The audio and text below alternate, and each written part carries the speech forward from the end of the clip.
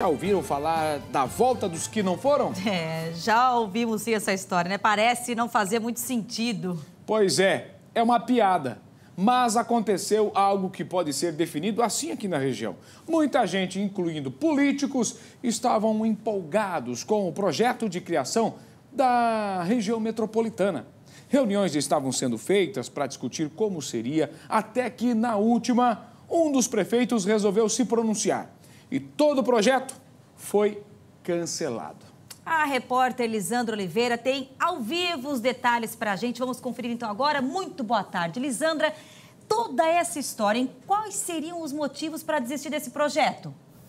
Boa tarde, Sabrina. Boa tarde a todos. Pois é, durante a reunião, aí, segundo a assessoria de imprensa da Prefeitura de Joinville, o prefeito Udo Dele teria sido muito crítico durante uma reunião na Agência de Desenvolvimento Regional, que contou com a participação do governador Eduardo Pinho Moreira e com prefeitos das cidades da região que faziam parte da proposta desse projeto. De acordo aí com o Udo Dele, os prefeitos não teriam sido consultados ainda durante a elaboração desse documento e essa mudança, essa transformação para a região metropolitana geraria muitos gastos para o Estado. Diante Diante disso, a direção aí da ADR resolveu retirar esse documento de pauta até para fazer uma análise melhor e agora em conjunto com os prefeitos dessa região antes desse projeto ir realmente para a votação.